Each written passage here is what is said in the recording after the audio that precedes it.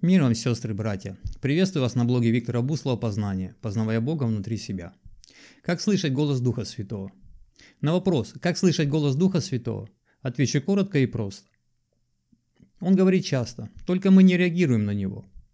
Говорит Дух Святой несколькими способами. Скорее, в каких случаях говорит Дух Святой? Например, в баре, где пьют алкоголь, не ищите голоса Духа Святого.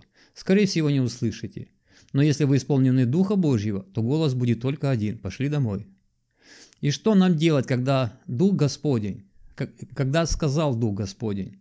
И из-за этой ошибки, то есть, когда мы ничего не делаем и теряется связь с Духом Святым. То есть Он нам говорит, мы не знаем, что с этим делать, и когда Он нам говорит снова, мы уже не верим, что это Он. Но есть выход. Большая ошибка слушания голоса Духа Святого. Друзья, Самая большая ошибка слушания голоса Духа Святого, что мы принимаем его как нечто чуждое, постороннее. Но, но нужно правильно посмотреть на себя со стороны. Раньше, до покаяния, было странно слышать голос в голове и даже Духа Святого, и это нормально.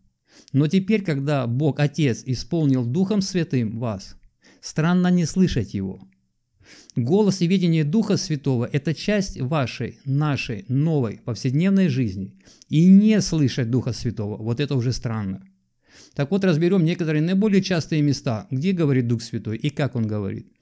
Тут в этом подкасте я не успеваю много сказать, но я говорю много о Духе Святом и открываю разные грани общения, служения с Духом Святым сегодня. Что помогает в этом, что мешает. Просто смотрите и слушайте дальше. Я имею много что сказать, но это невозможно все в одном подкасте церкви на собрании. Это стандарт. На проповеди очень часто говорит Дух Святой. Я, называю, я называю проповедует. Проповедь в проповеди. Как это происходит? Вы слушаете проповедь, открываете место из Писания за проповедником, и вдруг, вдруг видите место Библии в новом понимании и думаете, как я раньше не замечал. И это Дух Святой говорит вам лично. То есть, увидеть стих Библии как-то иначе, или справа, или слева, или сверху вниз, но иначе, значит вам Дух Святой открыл это место для вас. Если вы проповедник или служитель слова в любом варианте, то на эту тему обязательно приготовьте проповедь, учение или что-либо. Эта тема вам для служения. Вполне может вам лично она и не нужна. Но если вы служите Словом, то нужна для того, чтобы вы передали это Слово другим. Откроем Евангелие от Иоанна, что говорит Иисус Христос на этот случай – 4 глава стихи с 13 по 15. Иисус сказал ей в ответ, «Всякий, пьющий воду сию, возжаждет опять. А кто будет пить воду, которую я дам ему, тот не будет жаждать вовек. Но вода, которую я дам ему, сделается в нем источником воды, текущей в жизнь вечную». Женщина говорит ему, «Господин, дай мне этой воды, чтобы мне не иметь жажды и не приходить сюда черпать». Это Евангелие от Иоанна, 4 глава, стихи с 13 по 15. Передайте эту воду другим. Если вы служение, передайте эту воду Духа Святого другим, вы источник. Если вы еще не в служении, но получаете такие откровения, неприменимые для вас, вступайте, приходите на или в служение и делитесь теми откровениями, которые приходят с другими братьями и сестрами. Ошибка. Это неприменимо в моей жизни, значит, это не Дух Святой. И сидите дальше на собрании и думаете, как слышать голос Духа Святого. Друзья, но вы его уже пропустили. Если так будет продолжаться, Дух Святой перестанет говорить. Причина – вы его игнорируете. Что делать? Если вы уже давно в общении верующих и ищете решение, как слышать голос Духа Святого, то попросите Духа Святого простить вас. И как сказал Иван Креститель, принесите плоды покаяния, возьмите блокнот и ручку и пишите. Даже если не примените, пишите. А в век современных технологий можно просто записать место из Писания, короткий тег на телефон на собрании. И вполне можете прийти домой и сделать запись своего откровения на телефон. И отправить запись на диск в инет. Вполне нормально. А если вы служитель слова, приготовьте проповедь, запишите ее и оставьте на компе. Она вам пригодится, она не для вас, придет время и место, и вы отдадите ее с кафедры. Если так будете поступать систематично, то, будет, то будете много получать и будете много отдавать. Бог поставит вас в правильное место и время. Доверьтесь Ему. А как слышать голос Духа Святого, читая Слово Божье? А как слышать голос Духа Святого, когда читаем Слово Божье? Это, это очень важное откровение от Духа Святого. Тут очень часто Дух говорит лично к вам.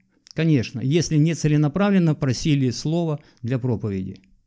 Если вы читаете Слово и вдруг, вдруг видите место в Библии в новом понимании и думаете, как я раньше не замечал. Это Дух Святой говорит вам лично. В послании 2 Тимофея написано 3 глава, стихи 16-17.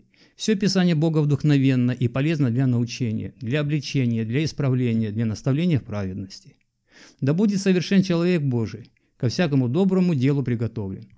2 Тимофея, 3 глава, 16-17 стих. Но разберем этот случай. То есть он выделился, стих. Вы заинтересовались им, увидели стих Библии как-то иначе, или справа, или слева, или сверху вниз, но иначе, значит вам Дух Святой открыл это место лично для вас. Ошибка. Чит, продолжаете читать дальше. Что делать? Остановиться. Читать этот стих в сочетании с другими стихами, до и после него. Самое главное – остановиться и размышлять. До тех пор, пока не получите откровение от Духа Святого.